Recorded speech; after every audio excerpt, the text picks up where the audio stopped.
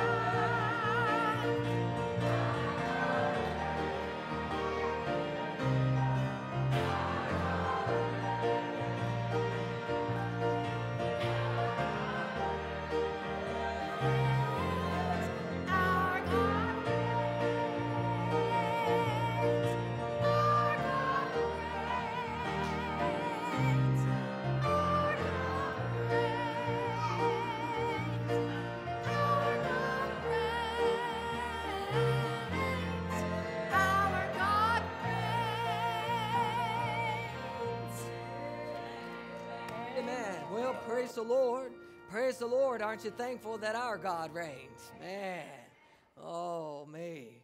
Well, it is great to be in the house of the Lord, but what a privilege that we have to be able to come to Him in prayer as well. And that He hears the cry of His children. And so this morning, I would ask all that would like to to gather in around the altar this morning. We're just going to go to the Lord in prayer. We're going to continue to seek Him. I know we have a lot that are in the hospital and that are sick and they aren't feeling well, but we serve the God that can touch all of those situations. He can heal and move in every one of those. And so this morning, we're just going to call out to Him. Dear Heavenly Father, Lord Jesus, thank you for the day. I thank you, Lord, for how you are continuing to move in our midst. Lord, how you are continuing to speak into our lives. And so, Lord, even this week, as maybe the prayer chain had went out about ones who were sick or not feeling well, that were in the hospital, Lord, as we prayed, we continued to hear progress of how you are touching, how you are moving, how you are speaking, how you are healing. And so we give you praise for those things. And so today we even come and we say thank you, Lord, for what you have done. And today we come believing that you're even going to move in a greater way than what you have, trusting that what you said you will do, that when we are here, you will be right in the midst of us.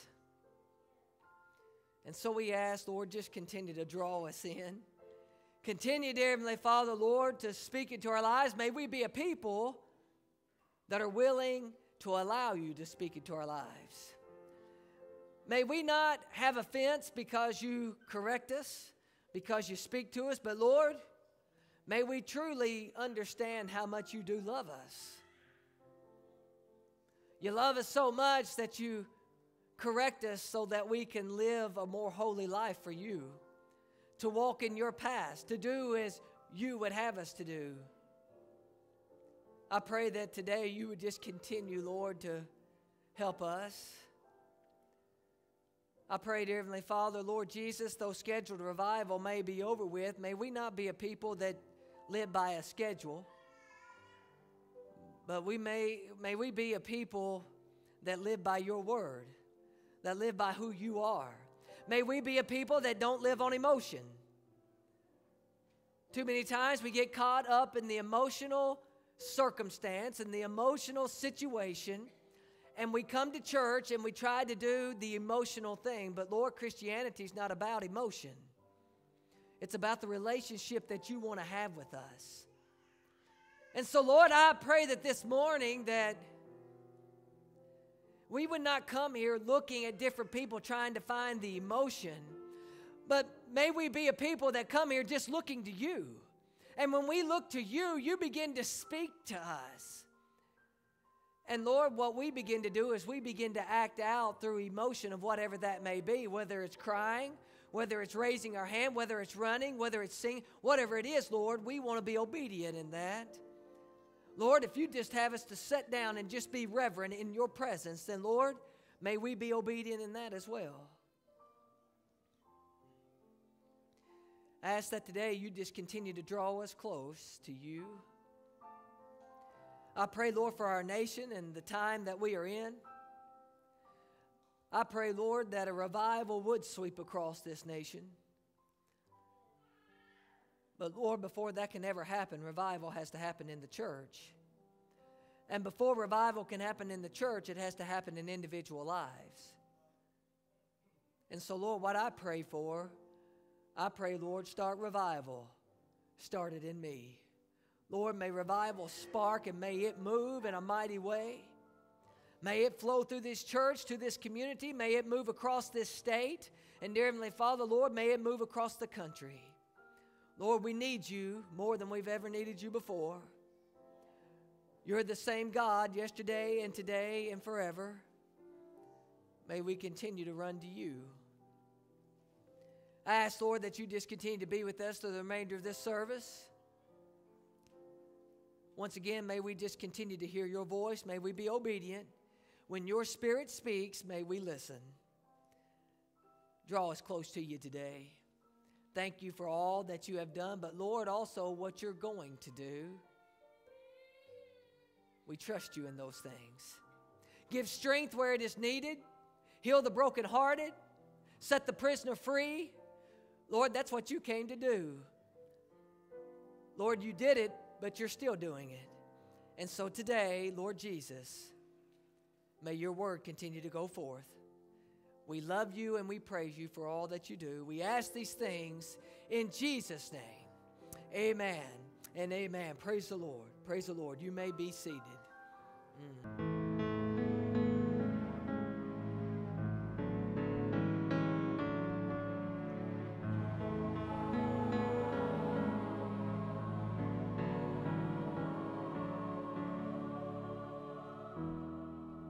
Sense an awesome moving of the Holy Spirit. I see his countenance resting on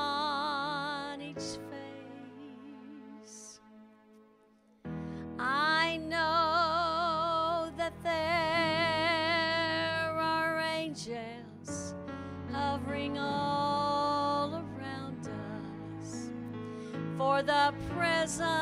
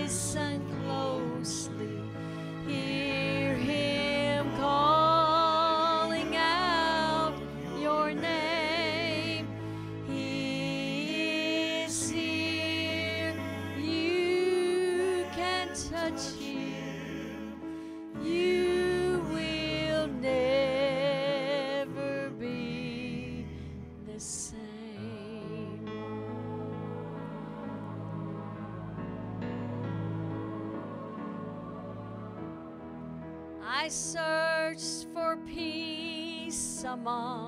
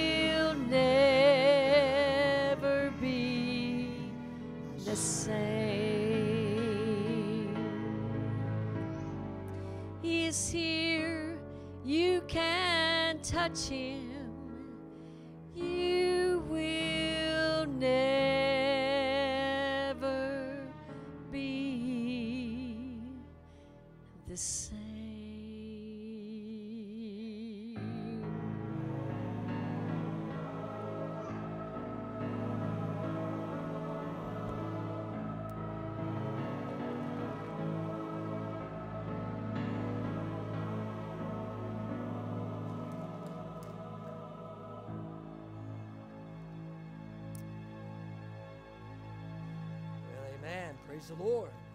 Praise the Lord. Mm. He is here. He is here. Oh, me. Yeah, sure.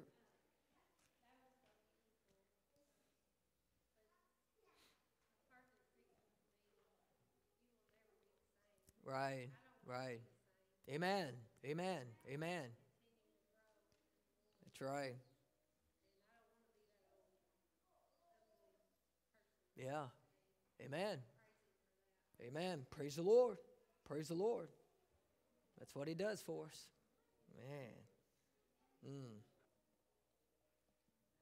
Well, if you have your Bibles with you, the, the kids will be in the service with us today, the first uh, Sunday of the month. But I promise it's going to be okay.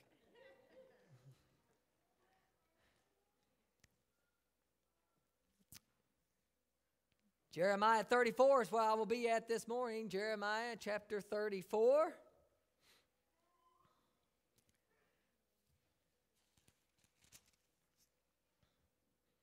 And after you have found the book of Jeremiah, chapter 34, if you would stand out of reverence of God's word.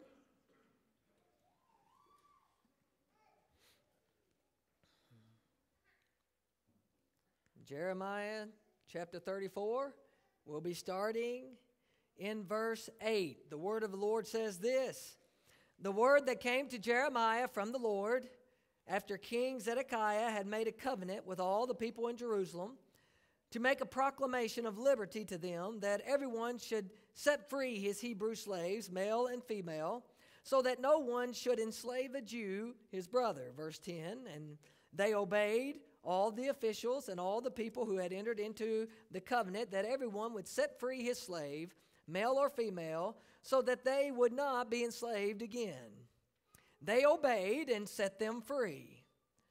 But afterward, they turned around and took back the male and female slaves they had set free and brought them into subjection as slaves. The word of the Lord came to Jeremiah from the Lord. Verse 13 Thus says the Lord, the God of Israel I myself made a covenant with your fathers when I brought them out of the land of Egypt and out of the house of slavery, saying, At the end of seven years, each of you must set free the fellow Hebrew who has been sold to you and has served you six years. You must set him free from your service. But your fathers did not listen to me or incline their ears to me. You, rec- you recently repented and did what was right in my eyes by proclaiming liberty, each to his neighbor, and you made a covenant before me in the house that is called by my name. But then you turned around and profaned my name when each of you took back his male and female slaves, whom you had set free according to their desire, and brought them into subjection to be your slaves. Dear Heavenly Father, Lord Jesus, I ask, would you just continue to help us this morning? Because you are here. Sometimes your response to us is this Are we here? And so, Lord, I pray, would you touch us today? Draw us ever close to you. And Lord, we're going to give you praise for all that you do. Would you help me, Lord, as I preach your word? May you hide me behind the cross. May you anoint me with the power of your spirit. May it not be anything that I have done, but Lord, may you get glory in everything that is said and done. We give you praise for these things. We ask it in Jesus' name. Amen. Amen. You may be seated. Well, this morning, I'd like for the kids to come up. So if all the kids want to come up, I've got a surprise for you that you all can. No, Hank, I'm sorry. Oh, wait, sorry. So if the kids want to come up, I've got a surprise. And so you all can pick a surprise out. So I've got I've got girls in this bag. You can just put well, no, oh, I'm sorry. I'm sorry. Just one. Hey, that's good thinking. Give me a high five on that one. That's good. Just pick one out of there if you would. Just pick you one thing out. I promise you'll like it. Oh yeah. You just pick you one out of there. I, I promise you like it. If you don't, blame somebody else. So okay, okay. You pick you something out of this one. You pick you something out of that one. I'll reach in there and grab one. Oh, yeah, that's what I'm talking about. You reach in there and grab one. There you go. Reach in there and get you something. You're welcome. You're welcome. Oh, yeah, yeah, that's what I'm talking about. All right, all right. Get you one. Get you one. You see anything in there you think you like? Okay. Uh, that's like a, uh, oh, if you grab it here and you pull it, it's going to shoot up in there like crazy. It's like a rocket. Okay, you're doing that? Okay. All right, we'll switch up here. Here you go. You all get to pick out of this one. Just grab you one out of there. all right, there you go. You pick you one out of there. Grab you something. All right, there you go. Hey, that's that's all right. That's no problem. She's good. Hey, you want to pick something? Here you go. You want to pick something out?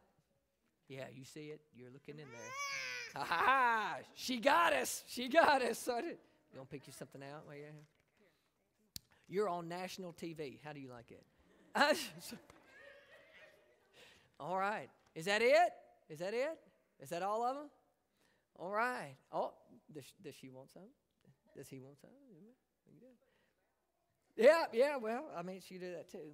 So I, I thought that would be nice to do, and uh, that way they could have something there. They're in here with us today.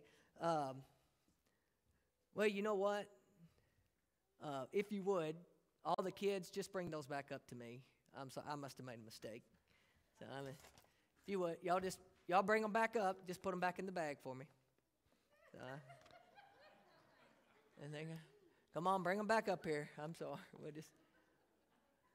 They're still laughing. Oh, come on, come on.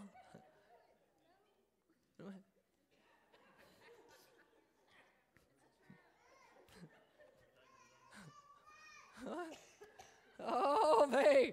Now, now, some of them kind of got a little bit nervous on that part there with this whole thing of it. You see, this morning I'm going to preach a message that's just entitled No Takebacks. No Takebacks. So, see, for me to give that to them and then want to take it back, well, that's just not very nice, is it?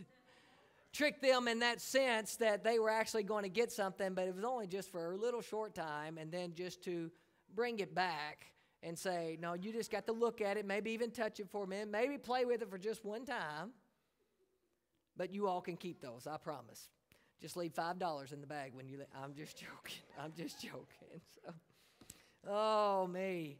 Well, this morning we get into a passage of scripture in Jeremiah, chapter 34, and with the book of Jeremiah, a lot of times we look at the book of Jeremiah and we think, man, this old prophet and he comes in, what in the world is he doing preaching all these great man, that's just that's harsh.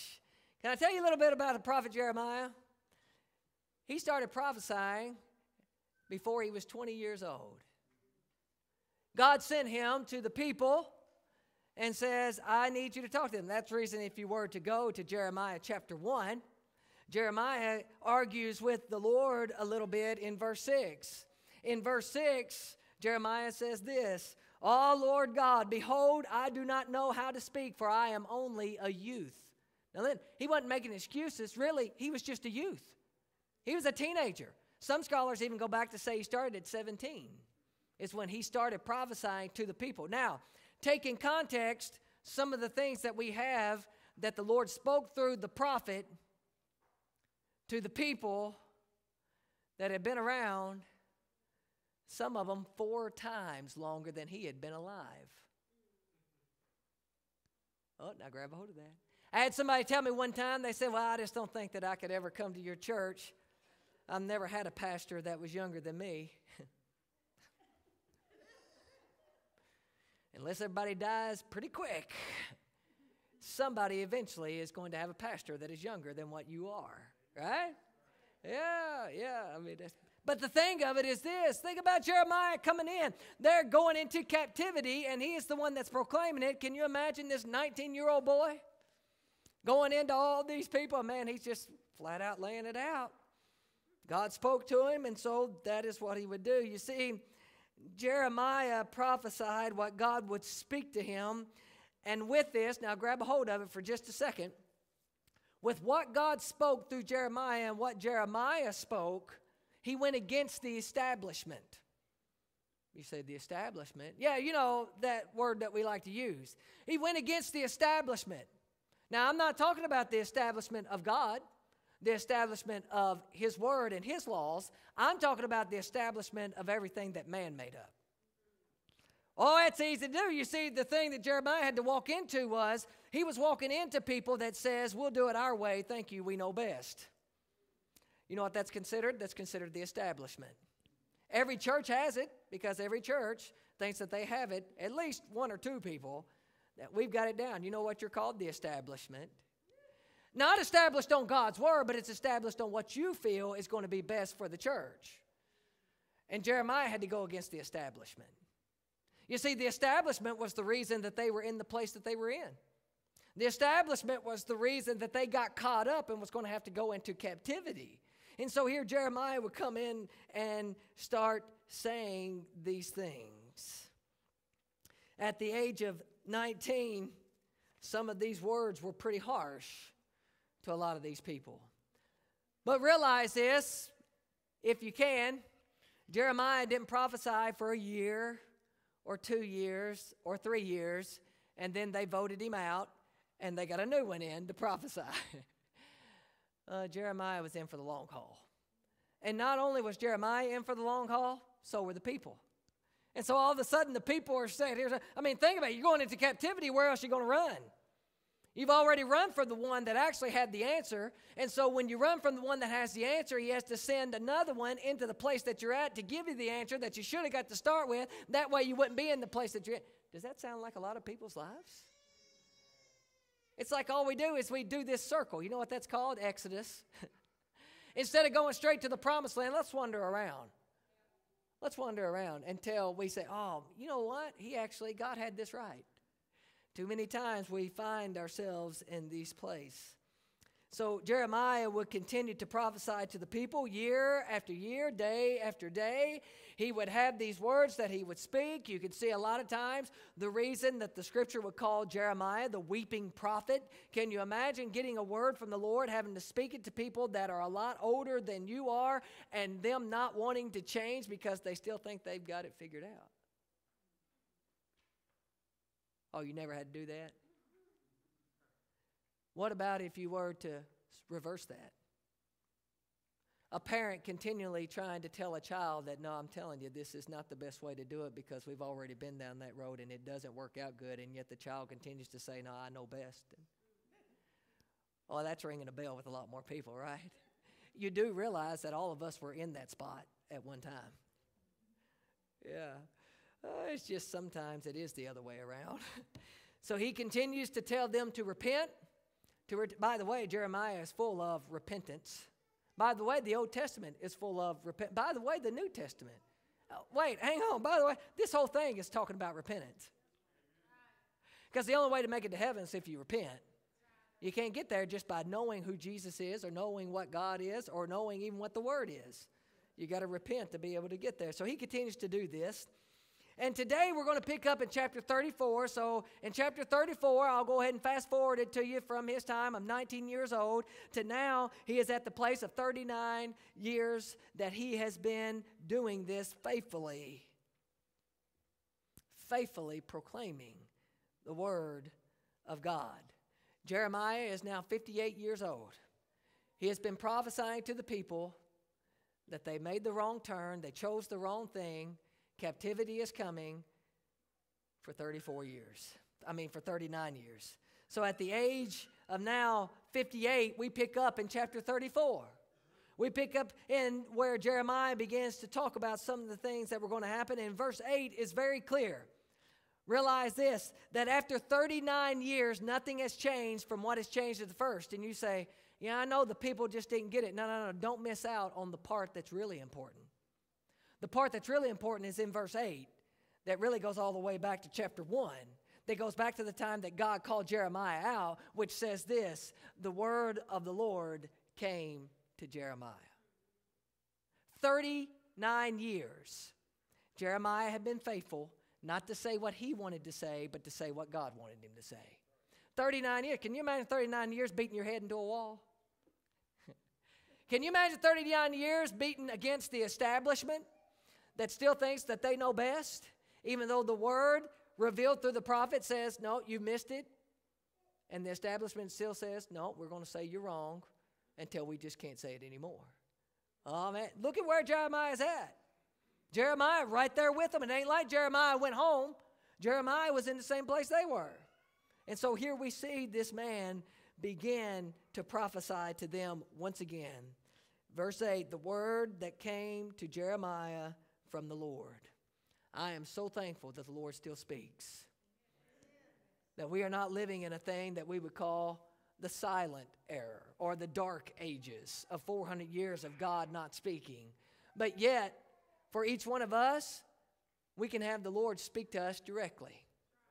He wants to call us out into a deeper walk with Him, to a deeper relationship with Him, to actually do away with the establishment that we made on our own. You do realize the reason a lot of people struggle with this aspect of salvation and repentance is because of their own establishment. We want to say, no, no, it's all Adam and Eve's fault. Well, Adam and Eve started it, but we still got to take responsibility. We're called the establishment, even ourselves. I know we don't like to swallow that part of it. It's always somebody else's fault because that's what the United States of America has taught us to say. That's the reason you have a lawyer that's on every corner, that's willing to sue even your grandmother if you'd like to do that. You don't believe me, just watch the commercials. They're out there. Verses 8 and 9 goes on to say there at the end of verse 8 that what he had begun to do is that the king of Zedekiah had made this covenant with the people. And he says, What I need you to do is I need you to make sure that you have this proclamation of liberty that is going to be given to them, that they're going to be able to do what needs to be done, that everyone needs to be set free that was a Hebrew slave. So if you were to have bought that Hebrew as a slave, that after those six years, the seventh year, now they're going to be free. You're going to make them free. And so King Zedekiah had already done that. He had made sure that they realized that this proclamation was set in place. You see, if you were to go back, God instituted all this, the true establishment, right? God's the true establishment. And so all of a sudden we go back and we realize that, man, we've heard something about this proclamation of liberty. We've heard something about this six years, and then the seventh year, they're set free no longer having to be there because if we were to go back to Exodus chapter 21, that's what God says. After he led the people out, he made all the laws for them and says, Now, this is what you're supposed to do. And one of those was this if you have a slave, after those six years that they have labored for you, you set them free on the seventh. You make sure that they're able to say, You know what? Oh, I'm done with this. Praise the Lord. Here we go. And you're supposed to say, Okay. Thank you for your service that you did for me. Now you're free this proclamation of liberty. But if you were to go just a little bit further, you'd get into Leviticus chapter 25. In Leviticus chapter 25, there's a, a three term uh, words that are used there that would be the year of Jubilee. And so the year of Jubilee is even really, if we were to think about it, we even celebrate that even today. It's something that comes around. It'd be every 50 years, is what it would be. So, what it would take, it would take these six years of being in captivity, but that seventh year be free. And then on the seventh of the seventh, on that 50th year, all of a sudden, guess what? Everything's free. Land's free, cattle are free, people are free, everything is set free. Just think if you were to done a 51 year mortgage instead of a 30 maybe on the 50th year they'd just let it go the rest of it go free. Now we only said on 30 see they were pretty smart. They did 30 years. That way they wouldn't have to ah okay. Well whatever. But anyway so here we are. We have this year of jubilee instituted by god that this 50th year is going to be a year that they would celebrate. Man that they not only these people but the people that have been held in captivity. Even the animals the land everything would have this year of jubilee so, this proclamation of liberty is what Zedekiah gave to them. This is what the Lord had already put in place. Zedekiah was just to make sure that this was supposed to be carried out. But the problem was it hadn't been in the past. They kind of walked away from the things of God. They thought that they knew what was best, what would be the greatest. And so they just kind of bypassed all of that. And here we see this part of it. And then when Zedekiah makes this in verse 10, it says they obeyed. I mean, it was like just like that. He made the proclamation of liberty, and the people were like, oh, we remember now. We remember that. They it just slipped my mind. Six years, seventh year, go free. Seven, that, that's good. Zedekiah, king, we're with you. We're with you. Let's do that because that's what the scripture says. All the officials and all the people entered into that covenant with King Zedekiah. And so here they are, they get into this place. They, they said, We're going to do this part. We're not going to enslave you again. Key words enslave again, right? Because that's what verse 10 says. They came in agreement with that part of it. They said, Yeah, we're willing to do this, King Zedekiah. Set them free, never to be enslaved again. And so, as they begin to obey that, as they begin to follow that, as they begin to do that, the last part of verse 10 is very important because the very last sentence of verse 10 says this they obeyed and set them free. Whew. Now let's close up, go home. I'm going to pray. they obeyed and set them free. Did y'all grab hold of everybody? Y'all did hear that. I'm not just making that up. You got your Bible out and you realize what it says too. Verse 10, very last sentence, they obeyed and set them free. They obeyed and set them free. That's awesome. Man, is it that easy? Right? They obeyed and set them free. Evidently, for the people, that's what they did. They just said, Whoo, we are going to do this. The king has ordained that. We realize this. God instituted it way back when. We're going to continue to be these people. We're willing to do that part of it. As they obeyed and set them free, we would get all excited just like the ones who were enslaved would get all excited. Watch this. The ones who were enslaved, man, they're like, whoo, it's about time. You ever been that person? Boy, it's about time somebody stood up for me. It's about time somebody did the right thing. It's about time they read the little fine print because they've been missing it the whole time. You ever been? Am I the only one that's like that? Right? Man, they finally got it. Never to be enslaved again. Man, they get all excited. Verse 11, though, man, why do we have to have verse 11? Because in verse 11, all of a sudden, we begin to get to this point, and verse 11 says this but afterward, they turned around and took back. Y'all, y'all did read the end of verse 10, right? They obeyed and set them free. And it's almost like we couldn't even have a breath in reading before it says they turned around and took back the male female slaves they had set free and brought them once again into subjection as slaves. You know how hard it is to fight against the establishment? once again, I'm not talking about the Lord. People fight against the Lord all the time, think they won. But human establishment, most people aren't willing to fight against that. Most people aren't willing to do anything about that because what they say is, well, that's the establishment. Well, based on what? So if you were to come into a church or you were to go to a church and all of a sudden you realize that maybe 1, 2, 12, 50, 7, whatever it is, kind of ran the church, ran the way things went, you would call that the establishment, though you may not say it the way that I'm saying it, but that's what you would say, right? And maybe you wouldn't proclaim it from the pulpit, but probably behind closed doors or on the telephone. that would never happen for sure. But anyway, all of a sudden you see this part of it and you realize this establishment. But the thing about it is this most people won't fight against the establishment. Not the real establishment, because we're willing, once again, we'll fight against the Lord, the author of the establishment. Yet when it comes to the aspect of having to deal with things, we'd rather allow the human establishment to just do whatever they do. It's just not controversial.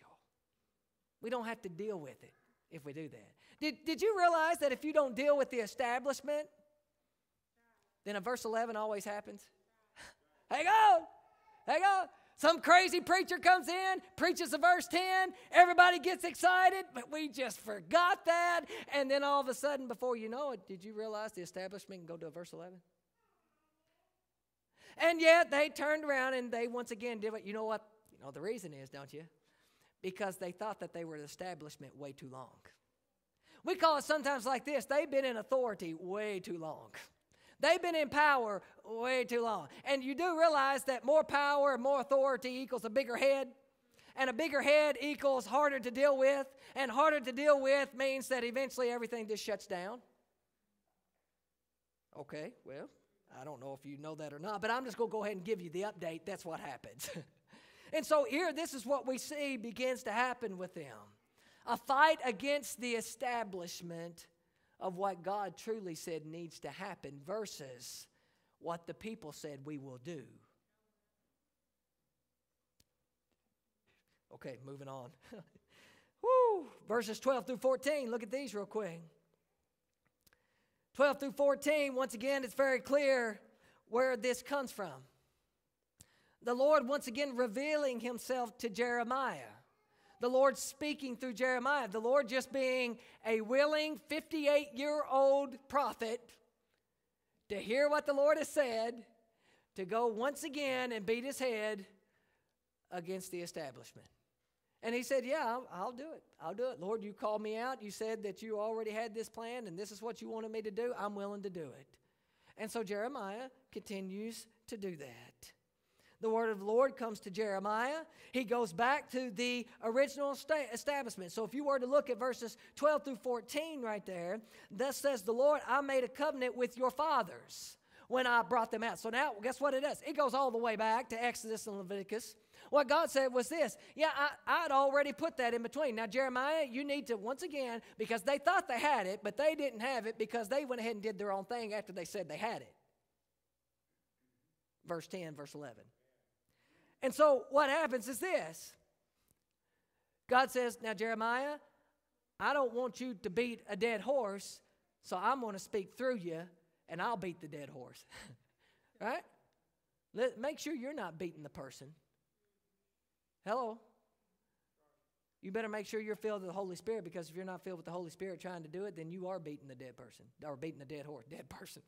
so, anyway, we get to this point.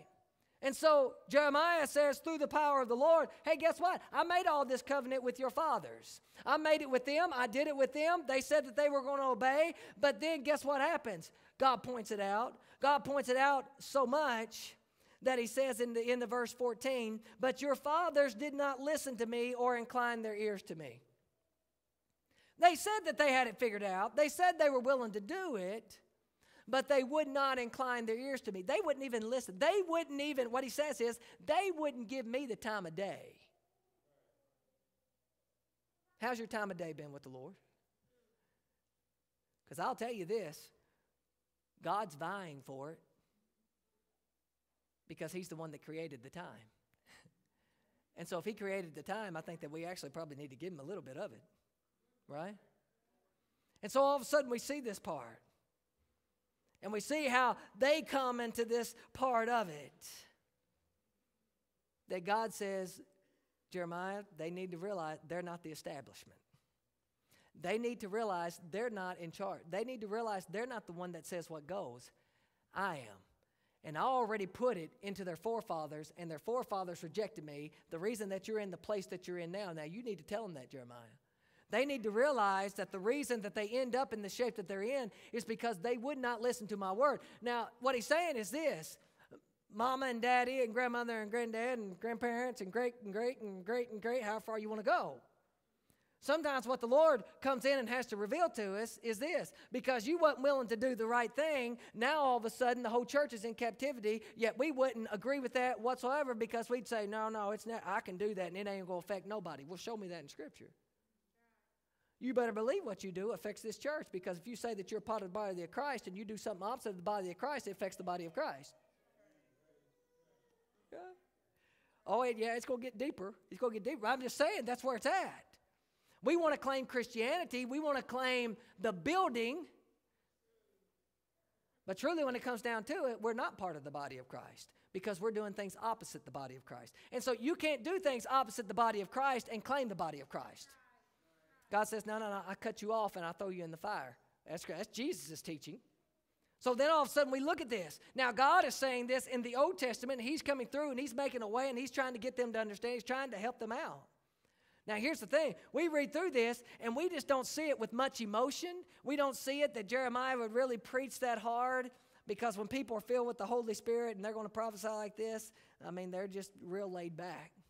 Jesus was when he went into the temple, he went in and actually turned the tables over like this. Hang on just a second. Oh, no, I just don't know if I can get somebody come help me. Uh, yeah, no, no. And then Jesus, what Jesus said was just move this off, scatter some on the table, and then we'll do it. That's not what the scripture says.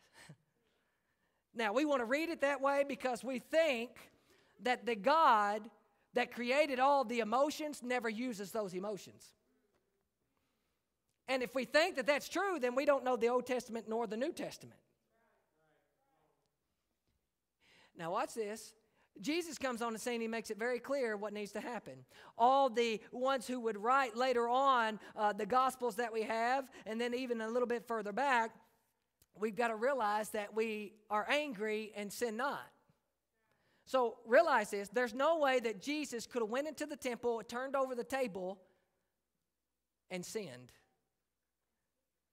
But he sure was upset because he can't contradict himself because the scripture says there was no sin in him. He couldn't have died on the cross if there was sin. Why? Because he did something that we could not do. He was sinless. So understand this part of it that when we read scripture, you better believe that there's a part of God that is angry. He gets angry. He gets upset. He gets mad. He gets these things. You say, well, why is that? Why? Number one, God hates sin. God hates sin. There is no place in Scripture where you're going to say where God just tolerates sin. No, no, He doesn't. God does not tolerate sin. I don't care if it's in your family. I don't care if it's your child. I don't care if it's your spouse. God will not sit back on the day of judgment and say, Well, I know they're related to you. Everything's good. Boy, we want it. That's what we wish for. I think we pray more like that than what we actually pray for them to get right with the Lord. I think what we're saying is this Lord, can, can they just ride my coattail to heaven? I'm going to do the best I can. No, they can't. So if they don't straighten up, get right with the Lord, quit their sinning, then they don't get to go to heaven. Well, we just can't say it like that. Well, good thing that you're not Jeremiah. you see, some people, God can't fill with the Spirit to be able to preach it because we're too scared to preach it. We're afraid what the establishment might think about it. We're afraid that the establishment might say it's time to move on. We're afraid that the establishment might say we may cut your pay. We're afraid that the establishment might say you can't work here anymore. But really, what needs to happen is we need to forget about what establishment thinks that they established themselves because anybody that establishes themselves outside of who God is is not an establishment. And so all of a sudden we see here, and God begins to speak through that. And He says, Your forefathers didn't listen to me either. The reason you're here is because of this reason. Verse 15. Verse 15, all of a sudden, now watch what he does. He went back in time to bring it back home. What? Did you get that? He went back in time to bring it back home. Watch verse 15. Verse 15 starts out like this You recently repented. Oh, y'all get that? Re- that doesn't mean that it was 12 years ago. That doesn't mean that it was when he was 19 and just started. That means literally, it ain't been no time. And you just recently repented, verse 15. And it says this, and did what was right in my eyes. Now, what? Now, listen, this is God still speaking. This is not Jeremiah. This is the Lord speaking to the people. So, what God admits is this you came down and you repented. Then you did what was right based on what I told you that you needed to do. And man, can you see? I believe God was excited about that. People did the right thing. That's what he says. You recently repented and did what was right in my eyes by proclaiming liberty each to his neighbor, and you made a covenant before me. Now, listen, if we really wanted to get into the covenant, it talks about it even a little bit more, but you would talk about the covenant in this way you'd get a bull, and then they would come together, and what would happen is you would cut the bull in half. Now, watch. You cut the bull in half and set it apart, and all the blood and everything's there, and you walk through it. You walk through it. That's talking about a covenant. So I don't know about many of us today. Josh, am I coming over? You gonna cut one down? And man, you just walk right through it, buddy. That's right. So you look, you're looking at this thing. Man, it's interesting if we were to get a little bit deeper into what that covenant truly means and what it really foreshadowed and what it really has for us today, then we'd understand that actually the Old Testament is more pertinent than what we give it credit for in our lives today. And so all of a sudden we look at this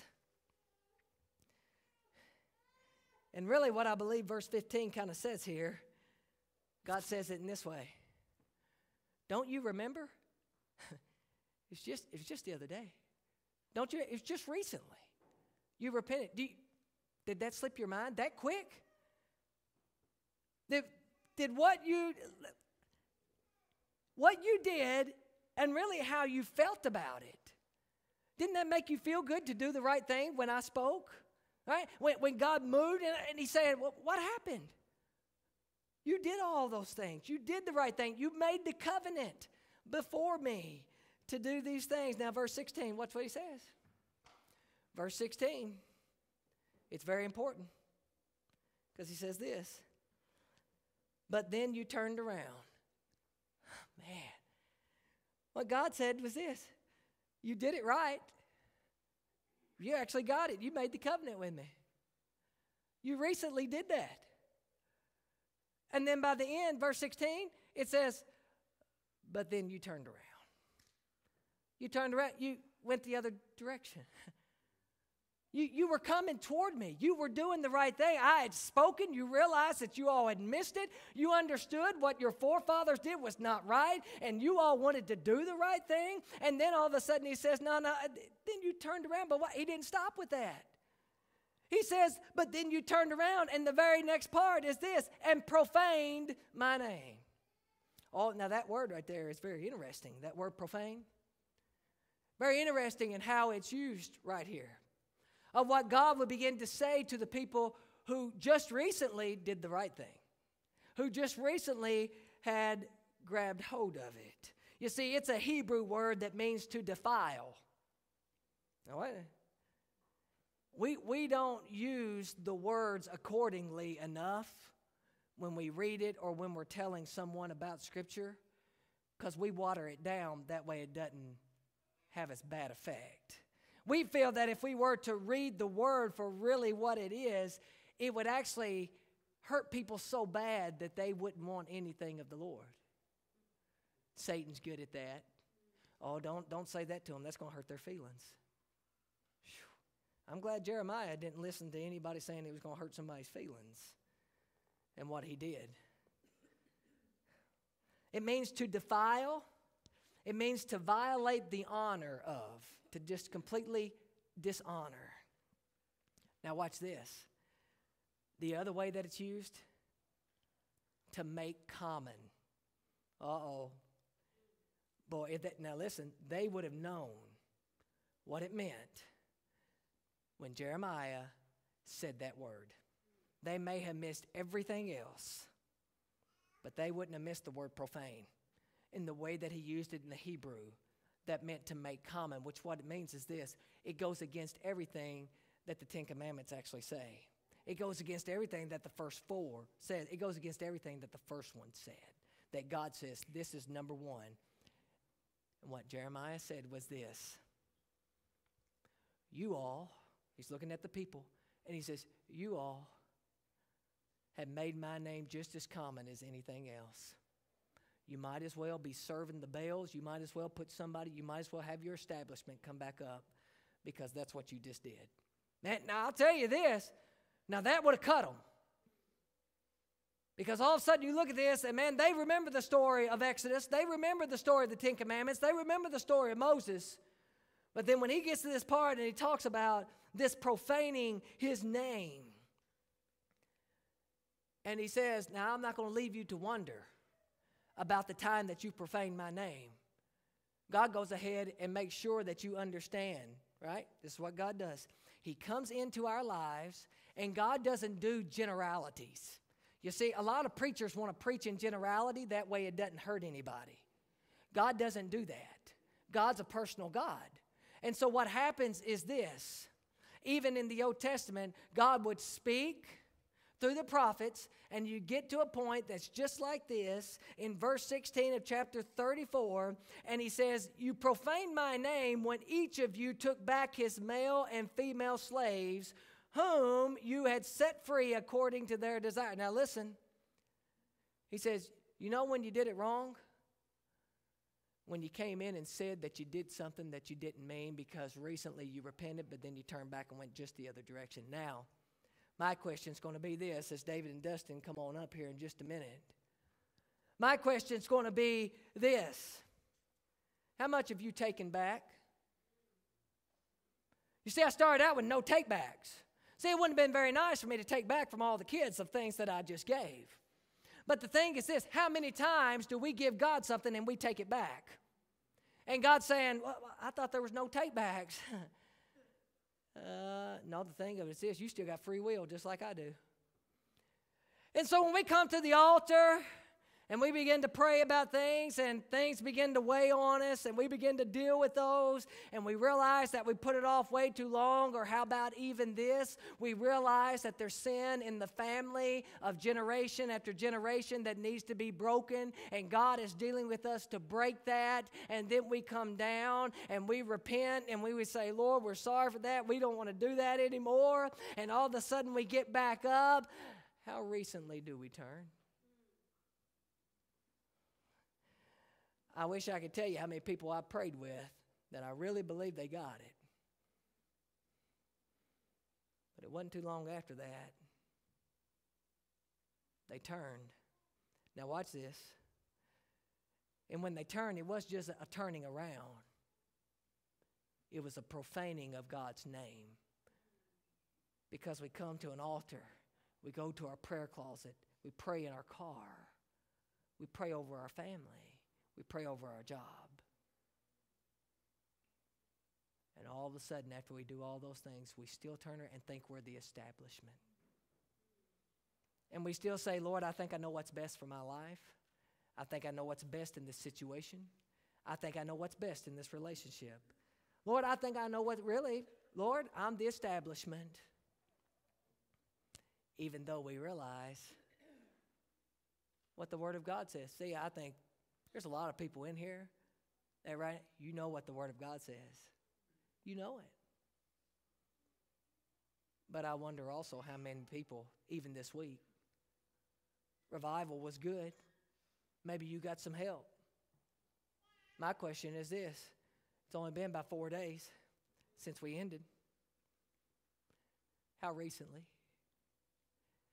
How recently? See, we think about these things and we look at this, and all of a sudden we want to take back all the things we've given to the Lord. And we want to say, Lord, yeah, I know, but I just have to have it. You ever had that conversation with the Lord? No, Lord, you just don't understand. I really need this. Lord, you just don't understand. That's the thing that's got me through.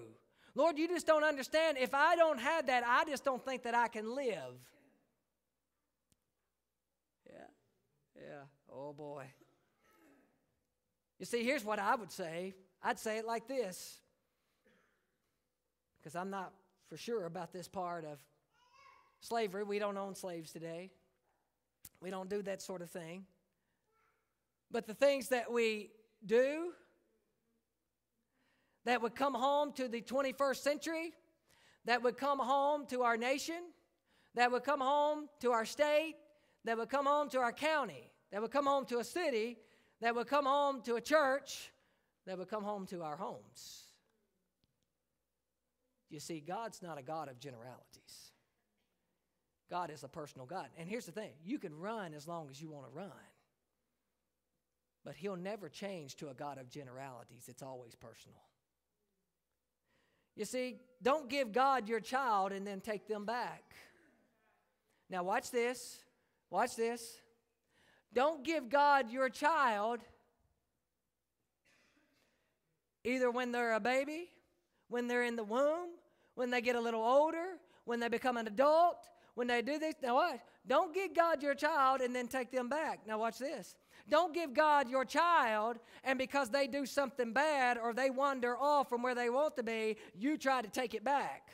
They're still God's if you gave them to them. It's not yours anymore. No takebacks. No takebacks. Too many times, what we do is we do this. Well, Lord, you just don't understand. My child is. And Lord, you don't you know what you're saying? I'm the establishment. I know better than the one who actually created everything, the true establishment. Oh, come on. Listen, don't take back your child when everything starts to go good. Oh, come on. Come on. You see, that happens. We run to church when something goes wrong, but as soon as it starts to get better, I'll take that back now. I- will have that. Thank you for getting me out of that mess, but everything's good right now. I think I'll do it myself. Don't give God your marriage and then take it back. Don't give God, don't stand before God Almighty and all of a sudden hold hands with your spouse and have the preacher repeat something that you don't mean. now you see why I ain't married too many people. But anyway, the thing is this we take too flippant in the things that we say we give God. Lord, I give you my child. Really? No takebacks. Lord, I give you my marriage. Really? No takebacks. I'm pretty sure, I don't know if they still say it, for better, for worse. Oh, yeah, I know. That's just, that's Old Testament. That's Old Testament. That's just something in there that, that we don't understand that Jesus spoke very highly of what marriage is. Because marriage gives us the ability to see our marriage between him and us. We got marriage all mixed up. We think it's between man and woman. But if you've been enlightened, you know that marriage is between Jesus and the church, Jesus and his bride. This just helps us to see what spiritual things are all about. Oh boy, man, that hit it home. I don't know. Evidently, we've never got that deep before. So Wednesday night, we'll be talking. No, I'm just joking. So anyway, here we go. Don't give God, listen, don't give God your job if you think you're going to take it back. Don't give it to him. What's the use in giving somebody something and then turning around and taking it back? We're no better than what they were in the Old Testament. No take backs. We say we trust God, yet we don't give Him none of our time. We say we trust God, yet we wouldn't give Him our child. We wouldn't give Him our house. We wouldn't give Him anything else that we have. We wouldn't give Him our family because we think we know best. Yet what we'll say when we come to church is, I trust God. Well, how much have you done in trusting God that you believe that God can help the situation? Well, I mean, I pray for at least two or three minutes. Some of y'all like, well, I just don't. Well, listen, I'm just telling you. I know your families. So if your family's in a mess, here's the thing I'll hold you accountable. Would you like me to call you and ask you how long you've been praying for? How long you been on your knees? Oh, you want to send me a message and have me pray for them? But can I just tell you this? Now you're going to be upset about it, but I'll tell you this: if you come here and you give me a prayer request that you ain't prayed about, take it back home. Because you need to pray about it. If you're going to bring it, you better pray about it. Well, I just know. I think it's the job of the church. God's a personal God. And we want to bring everything else to somebody else to have them do it, and we just kind of sit back on our sofa and try to enjoy the fruit of something that we didn't even labor for. Oh, man, I've hit a brick wall so big that you all wouldn't even believe in. Whoo! Here's the thing don't give God your life and then try to take it back.